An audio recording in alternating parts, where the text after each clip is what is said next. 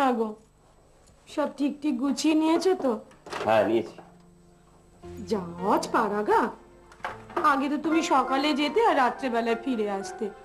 কোনোদিন তো আর থাকতে হয়নি। হ্যাঁ গো কেমন করে তুমি থাকবে গো? আরে ও নিয়ে তুমি মিথ্যে ভেবো না। তুমি তো জানো যে কোনো পরিবেশে গিয়ে আমি নিজেকে মানিয়ে নিতে পারি। আর তাছাড়া নিজের জমি নিজের জায়গা মাঝে মধ্যে সেখানে নিজে না গেলে ন্যায্য পাওনা পাওয়া যায়। না এই তো ফৌজদার সিং এর কাছে হিসেব চাইল। তা তিনি অভিমান করে সোজা রাজস্থান। কি যুক্তি? না অনেক দিন দেশে যায়নি তার নাকি বাড়ির জন্য মন খারাপ করছে। ঠিক বলেছ। বলতে সিং এটা মোটেও ভালো করে। হ্যাঁ ভেবেছিল আমাকে বিপদে ফেলবে। যাকি উনি তুমি ভেবো না। আমার না ভীষণ মনটা কুতকুত করছে। হ্যাঁ তুমি চিন্তা করো না।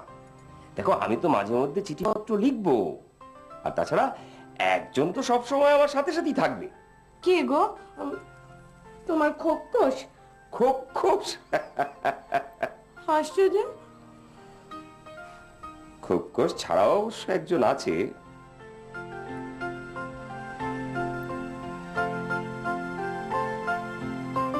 তুমি। এ কি সংবাদ নিয়ে এলে ভাই বৃত্তি ভাই অতুল? এই সংবাদ আমার জন্যই কি তোমাদের পাঠানো হয়েছিল? যাকে শোনো উম, এই বিরহ কাটানোর জন্য আমার কাছে একটা উপায় আছে বুঝলে? কি? সেটা হলো গরম চা বা কফি। আমি তোমার প্রস্তাবকে স্বাগত জানাই ঋষি। গরম চা!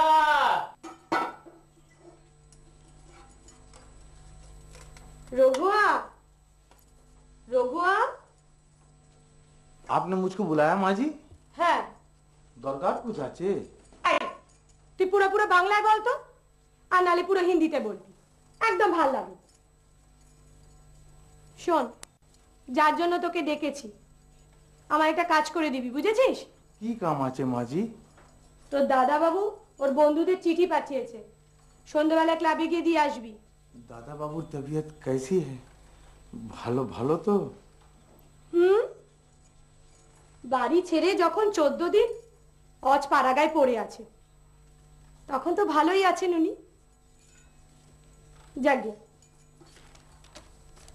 এই নে ধর সন্ধ্যেবেলায় চিঠিটা ক্লাবে দিয়ে আসবি। হারিয়ে ফেলিস না। আরে ভাই অমূল্য এসো এসো এসো এসো। তা আজকে তোমার এত দেরি যে? হ্যাঁ? দিদি মানে? অদ্ভুত কথা। সন্ধ্যে না হতেই বেঙ্গলি ক্লাবে এসে হাজিরা দিতে হবে? এটা কি একটা নিয়ম হয়ে দাঁড়িয়েছে নাকি? এমন কোন নিয়ম আছে বলে তো আমার জানা নেই। ভাই অমূল্যর আজকে মেজাজটা ঠিক নেই বলেই মনে হচ্ছে বুঝলে ভাইয়া? আহা হুম। অমূল্য যে প্রত্যেকদিন ক্লাবে আসছে এটাই তো ঢের। বড়দা নেই ওর তর্ক করার প্রতিপক্ষ নেই। বড়দার অভাবে বেচারা মনে হচ্ছে কেরম মুশড়ে পড়েছে তাই না? না তোমাদের না সবটাতে একটু যাই বলো না কেন অমূল্য এই বড়দা না থাকলে এই সান্ধ্য অধিবেশনগুলো কেমন যেন ম্রিয়মান হয়ে ওঠে। কাব্যের ভাষায় বলতে গেলে বলতে হয় কি গো? কাব্যের ভাষায় বলতে গেলে বলতে হয় বেসুরো হয়ে পড়ে। তবে তুমি যাই বলো অমূল্য দেখো আমাদের বড়দা দু চারটে মিথ্যে কথা বলে এটা আমরা মোটামুটি সবাই জানি। কিন্তু বড়দা সত্যি একজন মজলিসের লোক। কারুর কিন্তু কোনো দ্বিমত নেই। কি বলো ভাই। সেটা আমরা সকলেই জানি। আর মনে মনে বিশ্বাস হ্যাঁ, হ্যাঁ, হ্যাঁ। বাবুজি? কি কার চিঠি? দাদা বাবু কি? বড়দার চিঠি? বড়দার চিঠি?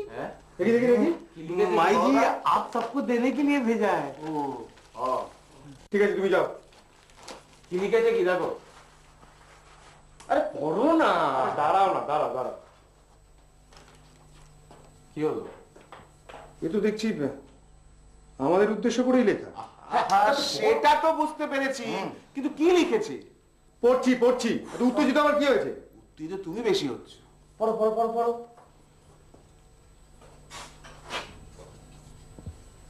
বন্ধুগণ তোমরা প্রেত জনিতে বিশ্বাস করো না। আমি কাল্পনিক ভূতের গল্প বানাইয়া বলি এইরূপ ইঙ্গিত মাঝে মাঝে করিয়া থাকো। তোমাদের মতো অন্ধ নাস্তিকের বিশ্বাস জন্মাইতে হইলে প্রত্যক্ষ প্রমাণ চাই। তাই জিজ্ঞাসা করিতেছি নিজের চোখে ভূত দেখিতে চাও? স্বকর্ণে ভূতের কথা শুনিতে চাও? ভূতের সহিত করকম্পন করিতে চাও? এই রে না কোন আষাঢ়ে গপ্পের আবার শুরু হবে। আহ অমূল্য! তুমি একটু চুপ করো তো। তুমি চিঠিটা শেষ করো সোমনাথ। আমি এখানে আসিবার পর আমার কাছারি বাড়িতে একটি অশরীরী আত্মার সহিত পরিচিত হইয়াছি। অত্যন্ত মিশুকে লোক। প্রত্যহ অনেক রাত্রি পর্যন্ত আমাদের গল্প গুজব আলাপ, আলোচনা হয়। তিনি তোমাদের সহিত আলাপ করিতে রাজি হইয়াছেন। যদি তোমাদের আপত্তি না থাকে, সকলে মিলিয়া এখানে চলিয়া আইসো। এক রাত্রি এখানে থাকিলেই চক্ষু কর্ণের বিবাদ ভঞ্জন হইবে। কবে আসিতেছ জানাইও? এখানে আসিতে হইলে তারাপুর পর্যন্ত বাসে আসিতে হয়। সেখান হইতে আমার আস্তানা পদব্রজে আড়াই মাইল। আচ্ছা ঠিকানাটা কি? বড়দা কি কিছু দিয়েছে? আগে পুরো চিঠিটা পড়ি তারপর আমি তোমার সব প্রশ্নের উত্তর দেব। তারাপুর থানায় খোঁজ লইলে সেখানকার চৌকিদার পথ দেখাইয়া দিবে। ইতি তোমাদের বড়দা ওদের চিঠিটা পড়ে আমার তো এক্ষুনি যেতে ইচ্ছে করছে। কয়েকদিনের মধ্যেই কলকাতায় যেতে হবে? বেশ বুঝতে পারছি। এই চোদ্দ দিন বড়দা বেশ ভালো রকমের জিরিয়ে নিয়েছে কিনা তাই এবার বেশ একটা বড় রকমের বুজরুকি দেখাবে। বুজরুকি? আচ্ছা ধরে নিলাম তাই। কিন্তু বড়দা যে বলেছে ভূতের সাথে করকম্পন করার কথা সেটা সত্যি কিনা প্রমাণ করতে হলে বড়দার ওখানে যেতে হয়। মিথ্যা হলে তোমার জিত। আর নইলে বুঝছ কি? তাহলে বড়দার ওখানে যাওয়া হচ্ছে। তাই তো? অবশ্যই। হ্যাঁ। তাহলে আমরা কে কে যাচ্ছি সেটা বলো তো ভাইয়া। আমার যাওয়া হবে না। তবে একটা কথা ঠিক যে বড়দার অতিথি হতে পারলে কিন্তু মুখটা একেবারে গর্বে ভরে উঠবে। তার মানে আমি আর ঋষি বাদ। সুধাংশু দক্ষিণ ভারতে ভ্রমণে গিয়েছে। কবে ফিরছে জানা নেই। তাহলে? আমি যাচ্ছি। এই আমরাও যাচ্ছি। আমিও। এই আমার কিন্তু একটা কথা বলার ছিল। কথা ভাইয়া যাবে না তো? না আমিও যাচ্ছি তোমাদের সঙ্গে। কি? অমূল্য তুমিও যাবে? আলবাত যাব। আলবাত যাব? আমি দেখব না বড়দার বুজরুকি গুলো অমূল্য ভাইয়া বুঝঝুকিটা কিন্তু এখনও প্রমাণিত হয়নি। ঠিক আছে ঠিক আছে ঠিক আছে। তোমরা কবে রওনা হচ্ছ? মঙ্গলবার? হ্যাঁ মঙ্গলবার ঠিকই আছে। ভালোই তো। তাহলে চলো ওই দিনই রওনা হয়ে যাওয়া যাক।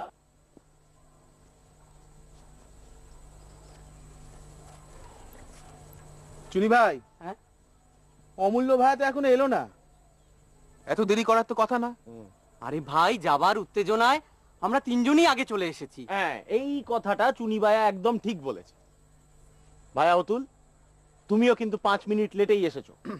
ভাই চিন্তার কোনো কারণ নেই অমূল্য ঠিক সময় এসে পড়বে। আরে ভাই বাস তো পনেরো মিনিট অন্তর। খুব বড় জোর কুড়ি মিনিট অন্তর ওদিকে যাচ্ছে। আরে ভাই ট্রেন ফেল করবার মতো বাস ফেল করবার কোনো চিন্তাই নেই। আমার কিন্তু একটা অন্যরকম সন্দেহ দেখা দিচ্ছে জানো ভাইয়া? এই অমূল্য ভাই আবার মত টত পাল্টালো না তো? না না না না। বড়দার বুঝঝুকি দেখার সুযোগ ও কখনোই হাতছাড়া করবে না। তবে আমার মনে হয় বড়দাকে জানিয়ে যাওয়া উচিত ছিল না? এই না না ভাইয়া। জানিয়ে গেলে তো যাওয়ার মজাটাই নষ্ট হয়ে যেত। আরে বড়দা যেরকম মাঝে মধ্যে আমাদের গল্প বলে একটু চমকে দেয় সেরকম না বলে বড়দার ওখানে গিয়ে আমরাও বড়দাকে একটু চমকে দিতাম। পৃথ্বীর এই যুক্তি তুমি কিন্তু ফেলতে পারবে না অতুল। আমার মাথায় কিন্তু অন্য একটা চিন্তা ঘুরছে চুনি। তোমার চিন্তা? কি নিয়ে? ভূতের সাথে করকম্পনের কথাটা ভুলে গেলে তোমরা? ও বাবা ও কথা কি কখনো ভোলা যায় অতুল ভাইয়া?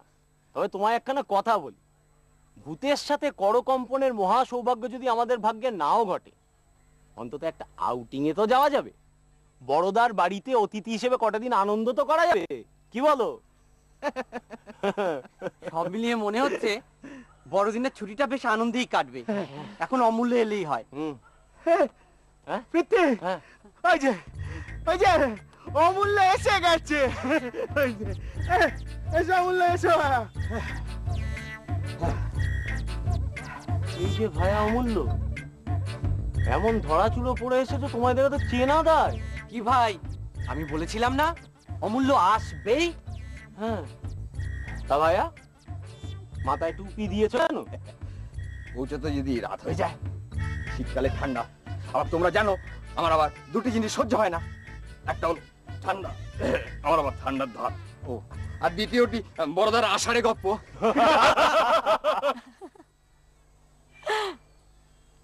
মাইজি? মাইজি? কি ব্যাপার রঘু? চিঠি।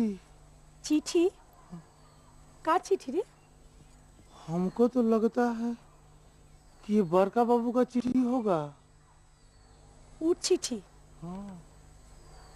হঠাৎ এই সময় ঠিক আছে তুই যা প্রিয়তমা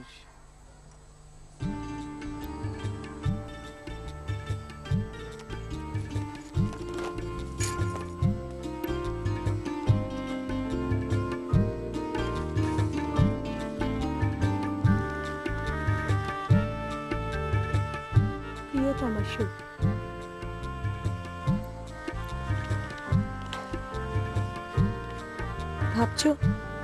হঠাৎ দুদিনের মধ্যে চিঠি কেন? বলছি। বলব বলেই তো তোমায় কলম ধরেছি। এখানে বড় একলা লাগছে। বারবার তোমার কথা মনে হচ্ছে। বারবার মনে হচ্ছে তুমি পাশে থাকলে নিজেকে এত নিঃসঙ্গ লাগতো না। কেন জানো? তুমি ছাড়া আমি অসম্পূর্ণ যে।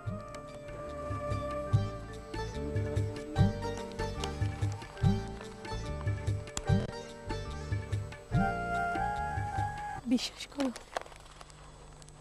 তোমার জন্য আমারও ভীষণ মন খারাপ হয়। কবে আসবে তুমি? কবে আসবে? এই বাসে? ধরে গেছে না। ধকল গেছে না? আরে শীতকাল হলে কি হবে? ভোগাতে ছাড়লো না। ভোগান্তির অ্যাক্সেস বাহ। এই ছাড়াতে হবে জং ছাড়াতে হবে মনে হচ্ছে। ও তাহলে এই হচ্ছে তারাপুর। মানে এইখান থেকেই যেতে হবে আমাদের বড়দার আস্তানা হ্যাঁ আর মাঝখানের এই আড়াই মাইল পথ পদব্রজে। এই যদি বর্ষাকাল হতো না তাহলে আর ভোগান্তির শেষ থাকতো না। হ্যাঁ হ্যাঁ তা ঠিক। হ্যাঁ, তবে শুনেছি হ্যাঁ। এখানে নাকি মোটামুটি রাত পর্যন্তই বাস চলে। দেখে তো মনে হচ্ছে বেলা তিনটে সাড়ে তিনটে বাজে বুঝলে? হ্যাঁ। আমাদের এবার একটু রওনা হওয়া উচিত। হ্যাঁ। ও ভালো কথা। কন্ডাক্টরকে জিজ্ঞেস করেছিলাম বলেছে যে থানা কাছেই আহ। তিন মিনিটের পথ। হ্যাঁ? আমার না বিকেল বেলা চা না খেলে না আবার শরীরটা বেশ ম্যাচ ম্যাচ করে। চা খাবি? কোথায়? কেন? ওই কোণের দিকে চায়ের দোকান। তোমরা বোধহয় লক্ষ্য করোনি। কীর্তি তোমরা এক কাজ করো। থানায় গিয়ে চৌকিদারের সঙ্গে দেখা করো। বড়দা তো লিখেই দিয়েছে চৌকিদারের সঙ্গে দেখা করলে উনি রাস্তা দেখিয়ে দেবেন। অমূল্য ভাইয়া হ্যাঁ বলো তো হ্যাঁ বলছি তুমি আর পৃথ্বী থানায় যাও। হ্যাঁ আর চুনি চুনি গিয়ে চাটা খেয়ে আসো। আর আমি বরঞ্চ এখানে একটু ঘুরে টুরে প্রাকৃতিক শোভা দেখি। যাই।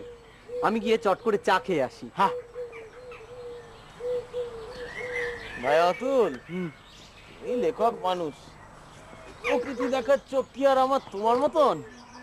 তুমি বরঞ্চ একটা কাজ করো এখানে বসে প্রকৃতির রং রূপ বর্ণ গন্ধ এগুলো উপভোগ কর। ভাই অমূল্য? হ্যাঁ বলো ভাই চলো থানার দিকটা আমরাই ঘুরে আসি। হ্যাঁ, চল ও কি? আরে আরে এটা রেখে যাও। আমি তো আছি। হ্যাঁ, এসো, চলো। আসুন দাদা আসুন। ওই চৌকিদার বিনু কাকার সঙ্গে আপনাদের বন্ধুত্ব খুব ভালো সম্পর্ক। বিনু কাকা আসতে পারবে না।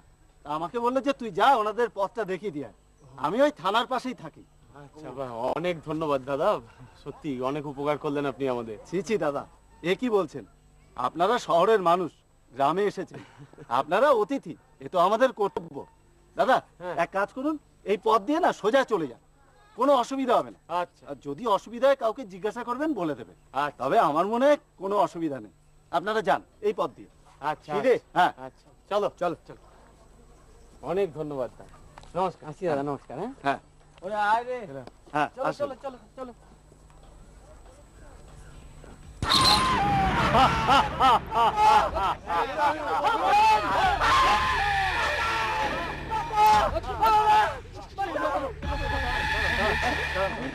কি হয়েছে বাবা কি? হয়েছে ঠাকুরদা কি খবরদার এক পাও এগোবি না তোরা কে তোরা- তোরা যাচ্ছিস কোথায়? আমি বলছি আমি বলছি ঠাকুরদা ঠাকুরদা এরা খুব ভালো মানুষ। এরা আমাদের গ্রামে বেড়াতে এসেছে। তুই তুই গাঙ্গুলিদের ছেলে না? হ্যাঁ। তোর তোর তোর কথা মতো আমি ছেড়ে দিলাম হ্যাঁ? এবার ছেড়ে দিলাম তোর কথা মতো। হ্যাঁ, তুই বললি বলে হ্যাঁ? ওই দেখ ওই দেখ ওই দেখ, আমার গাড়ি এসে গেছে। হ্যাঁ আমি আমি আমি চলি হ্যাঁ? আমি আমি চলি হ্যাঁ? ও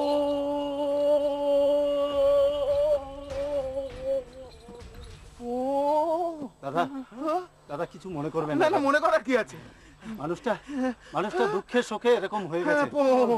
ওনার ওনার ছেলেটাও হারিয়ে গেছে। তারপরের থেকে এরকম হয়ে গেছে। আসলে অচেনা লোক দেখলে না উনি এরকম করেন। একটু চিৎকার চেঁচামেচি করেন আর তারপরে আবার নিজে থেকে চলে যান। না ঠিক আছে কিছু মনে করবেন না। না না না ঠিক আছে ভাই। আমরা আসি তাহলে? হ্যাঁ। কোথায় গেল? কোনো ভয় নেই, যান। সব কিছু ঠিক মতো গুছিয়ে নাও পো। চলো চলো। চলো। চলো। চলো ভাইয়া। আসি ভাই। লাগেনি তো? আবার দেখা হবে। যান। হ্যাঁ চলো। আসি ভাই। হ্যাঁ সাবধানে। কোনো ভয় নেই যান। গ্রামে ঢোকার মুখে সম্বর্ধনাটা বেশ ভালোই হলো। বাপ প্রথমটা বেশ বেকায়দায় পড়ে গেছিলাম। তারপর? তারপর আর কি? এই এখন বড়দার বাড়ির দিকে? কতদিন দেখা হয়নি সেটা বলো তো ভাইয়া। সত্যি। প্রায় দু সপ্তাহ হ্যাঁ। বন্ধু বিরহে পৃথ্বী একেবারে কাতর। দুঃখ করো না ভাই পৃথ্বী এই আড়াই মাইল পথের শেষে আমরা অবশ্যই গিয়ে পৌঁছবো। জ্ঞানী বড়দার বাড়ি। নিশ্চয়।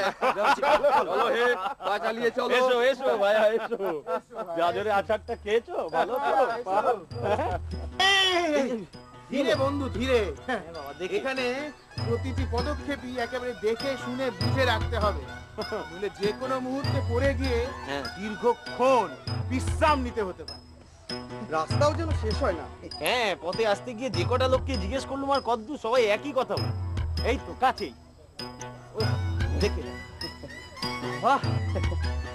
বুঝলে ভাইয়া শুনি। আমার মনে হচ্ছে এই মাইলগুলো যেন এক একটি ভৌতিক মাইল। আদিও নেই অন্তও নেই। এই নিয়ে গবেষণা পরে করলেও চলবে। এখন পা চালা। হ্যাঁ চলো চলো চলো। চলো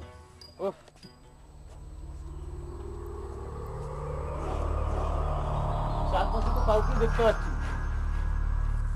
আর এই খড়ের ছাউনি ঘরটা ছাড়া এখানে কোথাও বসতি আছে বলেও তো মনে হচ্ছে। হ্যাঁ তাছাড়া রাস্তায় যে লোকটার সঙ্গে কথা হলো হ্যাঁ। তার বিবরণ অনুযায়ী এই খড়ের ছাউনিটা বাড়িটাই বড়। আচ্ছা ভুল জায়গায় চলে আসেনি তো ভাই? আরে। না না অমূল্য হতেই পারে না। এইটাই বড়দার বাড়ি। আরে ওই দেখো ওই কুকুরটা। আরে বড়দা খোকস না? এ কিরম নিস্তেজ হয়ে আছে দেখো। এ খোকস আমাদের চিন্তা পাচ্ছিস না? এই দেখো দেখো ফোকসটা কীরকম যেন লাগছে। হ্যাঁ আমাদের কাউকে চিনতে পারছে না। মনে হচ্ছে কেমন যেন একটা ঘোরের মধ্যে আছে। হ্যাঁ হয়তো ঘুম টুম পেয়েছে কিংবা শরীর খারাপ। এই চলো বরঞ্চ বড়দার খোঁজ করা যাক। আরে ধুর চল। চারিদিকে কোথাও তো বড়দাকে খুঁজে পাওয়া যাচ্ছে না। ঘরের মধ্যে দেখো আলো জ্বলছে না। হ্যাঁ? হ্যাঁ হ্যাঁ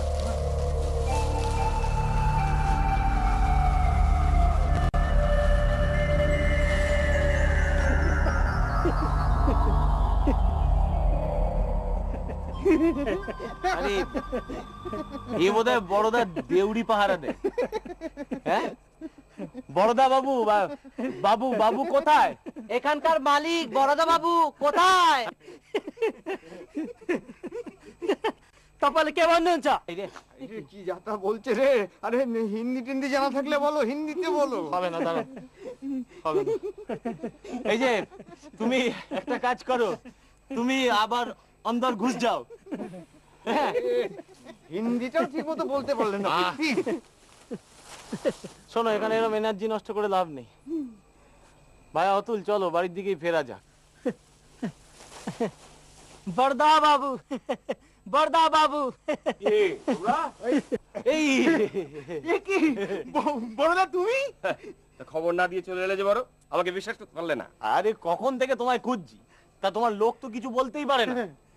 ও। ও বেচারি তো বাংলা তো দূরের কথা হিন্দি পর্যন্ত জানে না। জানে শুধু মাতৃভাষা নেপালি। আরে আমি তো ওর সঙ্গে আকারে ইঙ্গিতে কথা বলি। তা তোমরা কি বাইরে দাঁড়িয়ে থাকবে? এই নাচি এসো, এসো, ভেতরে চলো ভাই অমূল্য এসো। প্রচুর এনার্জি নষ্ট হ্যাঁ আর নষ্ট করো না। চলো টুপিটা সাবধান।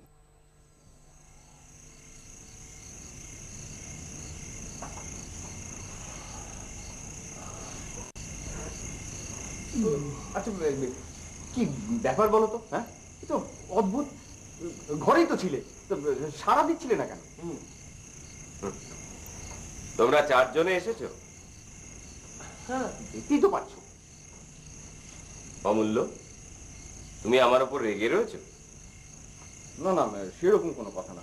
তুমি চিঠি লিখে সবাইকে আসতে বলেছিলে কিন্তু অনেকেরই তো আগের থেকেই কাজ ছিল। মানে তুমি ছাড়া বাকি সপ্তরথীর তিনজনই তো কাজে ব্যস্ত। আমাদের তো কোনো কাজ নেই। তুমি ডাকলে তাই ছুটে এলাম। এবং কয়েকদিন থাকব। তা চুনি এই শীতের রাতে একটু গরম গরম চা হলে কেমন হয়? চা? হবে নাকি? এক মিনিট।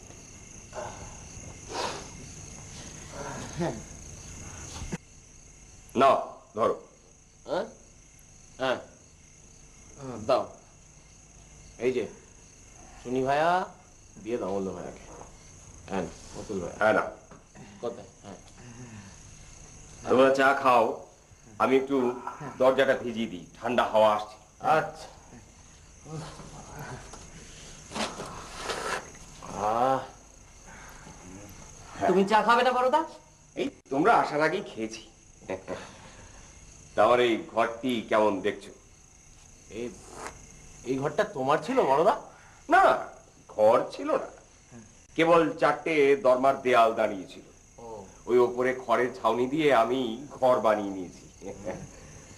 তা অমূল্য কেমন হয়েছে? খাসা হয়েছে। খাসা হয়েছে। বড়দা ওই বাইরে ওই খড়ের ওই বলছি বলছি। ওই সেপাই পেয়াদা এরা বরাবরই ওই বাইরে খড়ের ছাপ্পড় তৈরি করে থাকে। এবারেও তাই আছে। কিন্তু আমি ভাই পারলুম ওই একদিন শুয়েছিলুম তেরপলের তলায়। বাপরে কি শীত। তারপর থেকে এই ঘরের ভেতরে ভালোই আছি বেশ আছি। তাই ঘরটি তোমাদের বেশ ইয়ে বোধ হচ্ছে না? তা হচ্ছে কিন্তু ইয়ে বলতে তুমি কি বোঝাতে চাইছো বড়দা? এই তো মুশকিল করলে চুনি। বলি সব কথা কি ব্যাখ্যা করে বোঝানো যায় নাকি বোঝানো সম্ভব?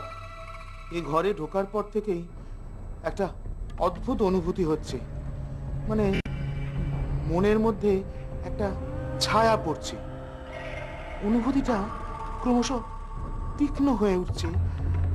কিন্তু সেটা যে কি অনুভব করতে পারছি না। ঢেকি স্বর্গে গিয়েও ধান বানে বলে শুনেছি। তা অতুল, তুমি কি অজপাড়া গায়েও সাহিত্য সভা বসাতে চাও নাকি? দেখেছ, আমি দরজাটা বন্ধ না করে ভেজিয়ে রেখে এসেছি। দাঁড়াও, আমি দরজাটা বন্ধ করে দিয়ে আসি।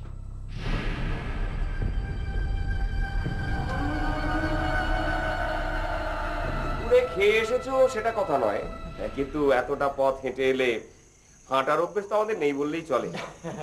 তা কি খাবে বলো? আরে না না। খাওয়া দাওয়া নিয়ে এখন কোনো প্রশ্ন নেই। সেটা তুমি রাতের জন্যই তুলে রাখো। রাতে বেশ জমিয়ে খাওয়া যাবে তাই না? এখন যেটার প্রয়োজন ছিল সে তো পাওয়াই গেছে। পরে না হয় আরেক কাপ চা যদি পাওয়া যায় আর কি। ঠিক আছে। তাহলে চুনির কথা অনুযায়ী কিছু পরে আর এক কাপ করে চা দিয়ে অতিথি সৎকার করতে পারলে অনুষ্ঠানের কোনো ত্রুটি হবে না। অতিথি সৎকার। বলা ভালো অতিথিদের তদারকির জন্য বড়দার কিন্তু ব্যস্ততার শেষ নেই। চা খাওয়া দাওয়া ছাড়াও অতিথিরা তো তার সঙ্গে আলাপ করার জন্য ব্যস্ত। এবং ব্যাগ্রহ বটে।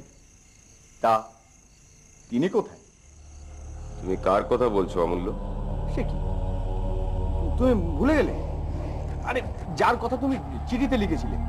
আরে তোমার ভূত! সে কই? পাবে। তার পরিচয় তোমরা পাবে। আমি বৃথাই তোমাদের এত দূরে ডেকে আনিনি। ইয়ে তুমি কি রেগে গেলে বড়দা? আরে না না। আচ্ছা দর্শন তো পাওয়া গেল হ্যাঁ তার আশার কি কোনো স্থিরতা নেই না তা নেই। তার আসার সময়ের যেমন কোনো স্থিরতা নেই তেমনি তিনি কোন রূপ ধরে আসবেন তারও কোনো স্থিরতা নেই। মানে? তিনি মানুষের রূপ ধরে আসেন বটে কিন্তু চেহারা সব সময় একরকম থাকে না। সেটা কীরকম? তার মানে অশরীরী আত্মাকে স্থূল দেহ ধারণ করতে গেলে কতগুলো জান্তব মাল মশলার দরকার হয়। বিজ্ঞানের ভাষায় যাকে বলে একটোপ্লাজম। এই একটোপ্লাজম ঠিক মতো না পেলে চেহারা একটু এদিক ওদিক হয়ে যায়। বড়দা, এ তো তোমার সেই পুরনো থিওরি। তা তোমার উনি একটোপ্লাজম পান কোথা থেকে? বোধহয় খুব কোষের গা থেকে। তিনি যতক্ষণ এখানে থাকেন ওই কুকুরটা নির্জীব হয়ে পড়ে থাকে। একটু নড়াচড়া করেন ডাকেও না। ইয়ে আমরা আসার সময় তোমার খোকসকে দেখলাম হ্যাঁ হ্যাঁ দেখুন না আজ বোধহয় খোকসের শরীরটা ভালো নেই। হ্যাঁ যে কথা বলছিলাম। একটু প্লাজমের তারতম্য থেকে দেহের যে তারতম্য হয় তা নয় এর একটা অন্য কারণও আছে। কি কারণ বড়দা? ইচ্ছে। প্রেত জনি ইচ্ছে করলেই তার দেহের বদল ঘটাতে পারে। কারণ কি জানো? কারণ তাদের দেহের উপাদান মানুষের দেহের উপাদানের মতো কঠিন বস্তু নয়।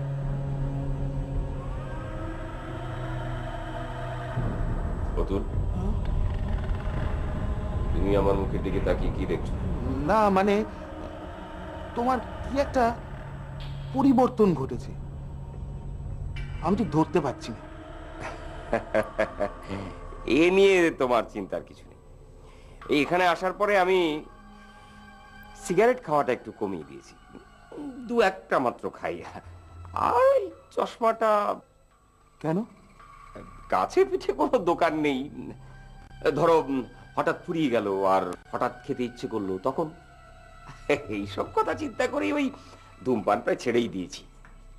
আর সিগারেট খাওয়াটা বেশ সংক্রামক। দেখো, আমি খাচ্ছি না বলে তোমরাও কেউ খাচ্ছ না, কিংবা খেতে ভুলে গেছো। তা বৃত্তি ওনাদের সম্বন্ধে আমার থিওরিটা কেমন লাগল বলো?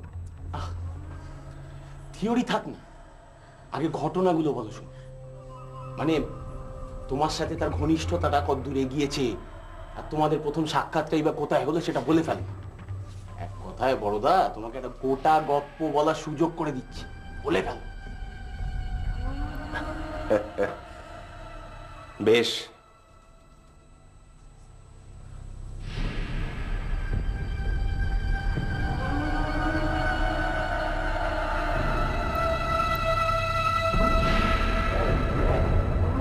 একটা কথা তোমাদের বলে রাখি। যদি কোনো সময় বুঝতে পারো যে তিনি এসেছেন তাহলে ভয় পেও না। ভয় পেলেই সব নষ্ট হয়ে যাবে। ওই প্রথম দিন যে রাত্রে এখানে শুই, সেদিন আমি কিচ্ছু বুঝতে পারি দ্বিতীয় রাত্রির ঘটনাটা বলি শোনো।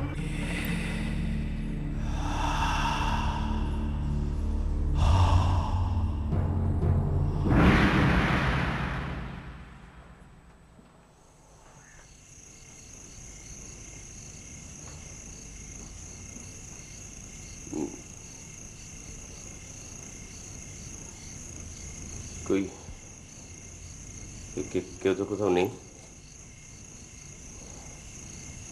চিরকাল তো এই বিষয় নিয়েই নাড়াচাড়া করছি। তাহলে আজ এত বুক ধরফর করছে কেন?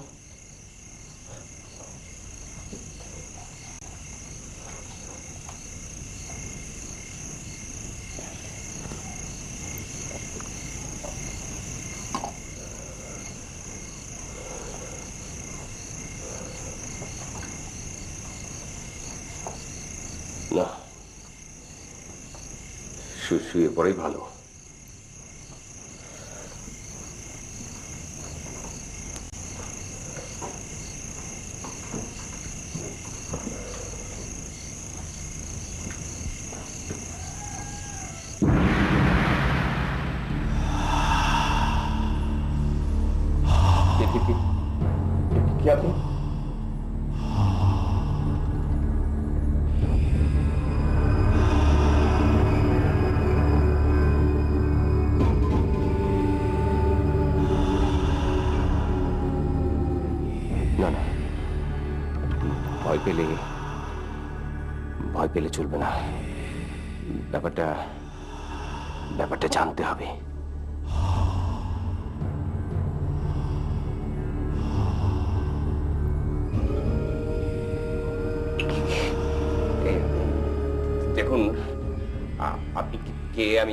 জানি না কিন্তু আপনার যদি কিছু বলার থাকে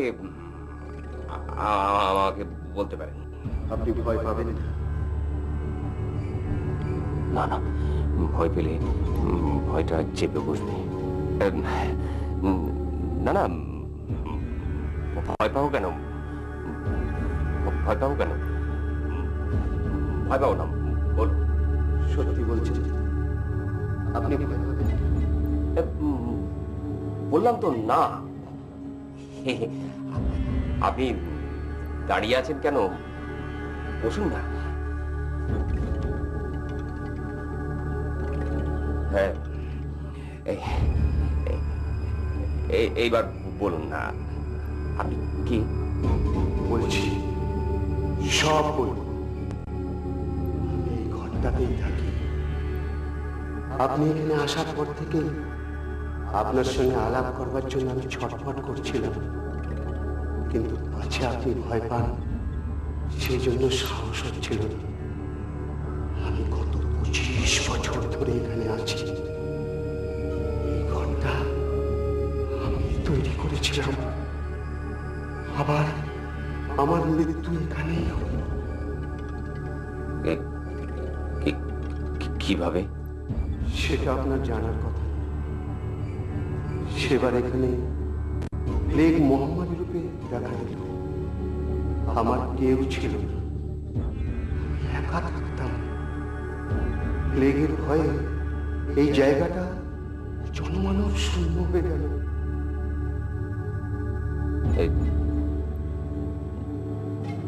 চুপ করে গেলেন কেন?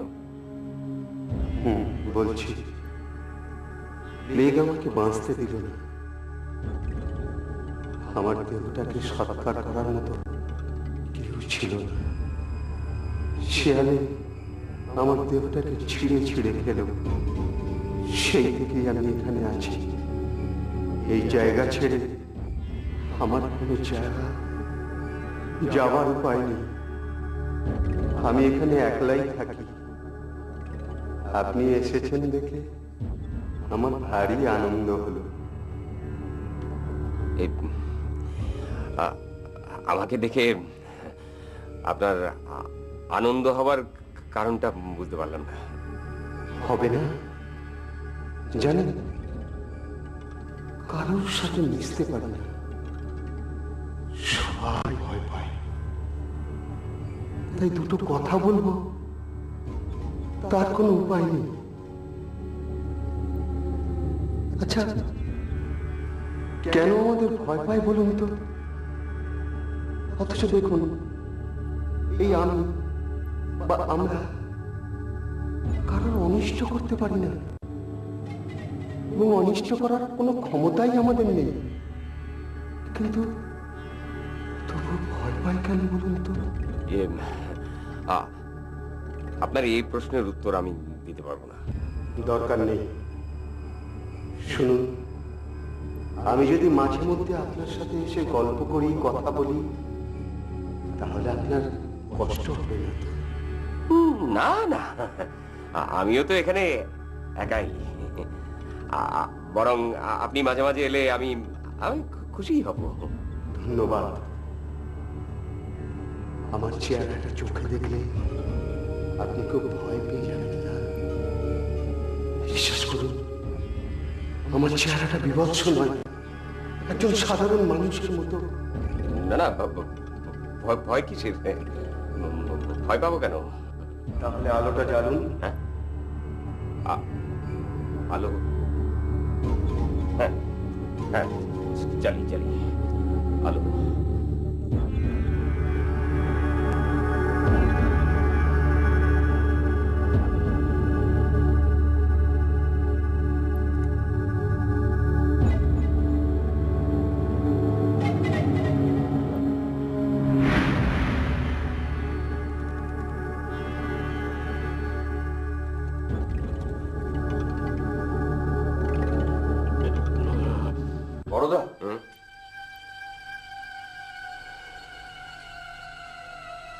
তারপর?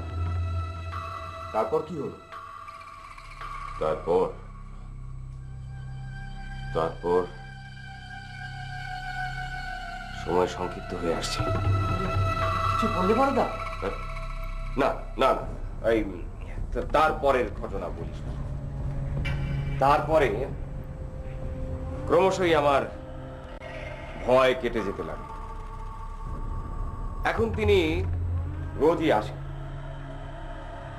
অনেক গল্পগুজব হয় অনেক কথাবার্তা হয়। এই যে তোমরা আসবে সে কথাও তাকে বলেছি। তোমরা যে তার সঙ্গে দেখা করতে চাও তাও তিনি জানেন তোমাদের সঙ্গে তার দেখা করার আগ্রহ ছিল কিন্তু বড়দা তার সঙ্গে দেখা হলো না। দেখা হলো না তাই না? না আর সময় নেই। এ, অতুল। হ্যাঁ? এবার এসো।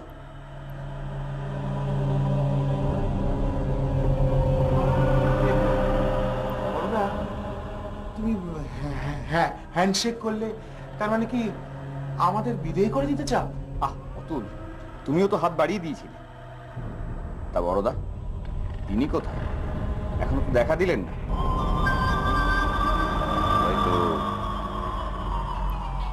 হয়তো দেখা দিয়েছেন। তোমরা জানতে পারোনি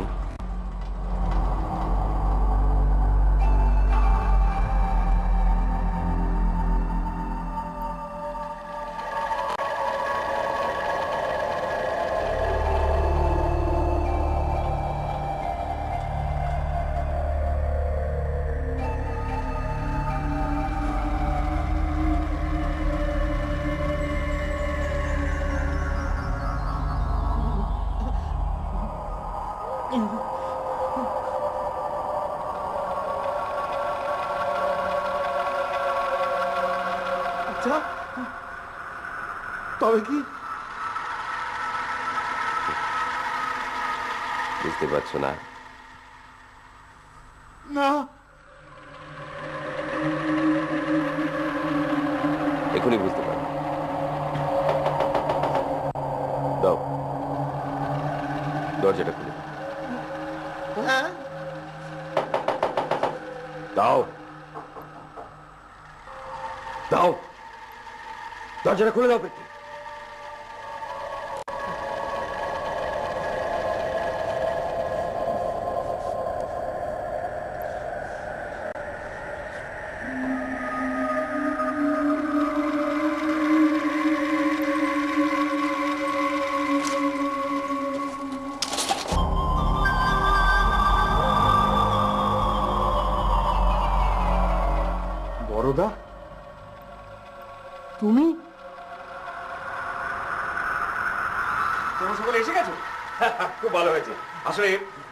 কাজে বেরিয়েছিল বুঝলে? কি ব্যাপার বলো তো? ও তবে কি? হ্যাঁ তুমি তুমি ঠিকই ধরেছো বড়দা। তিনি এসেছিলেন এবং অতিথি সৎকারে কোনো ত্রুটি রাখেননি। যাক তাহলে যাকে দেখবার জন্য চিঠি লিখেছিলুম তার দেখা তো পেয়েই গেছো। এখন কতদিন বাদে তোমাদের সঙ্গে আমার দেখা হলো বলো হ্যাঁ? হ্যাঁ, চলো একটু গল্প গুজব করা যাক হ্যাঁ? না না, শুধু দেখাই হয়নি। তার সঙ্গে হ্যাঁ কোনো কল্পনা হয়েছে তাহলে যা যা চিঠিতে লিখেছিলাম সবই ঘটেছে কি বলো হ্যাঁ? আরে তোমরা দাঁড়িয়ে রয়ে কেন? বসো বসো। ও বৃদ্ধি চলো একটু আড্ডা জমানো যাক। না না অসম্ভব? হবে না হবে না। আজ রাতে আমরা বাড়ি ফিরবো। এখানে আর এক মুহূর্ত না চলো।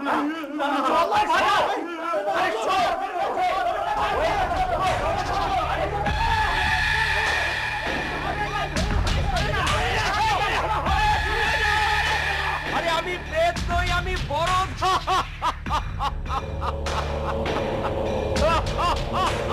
ha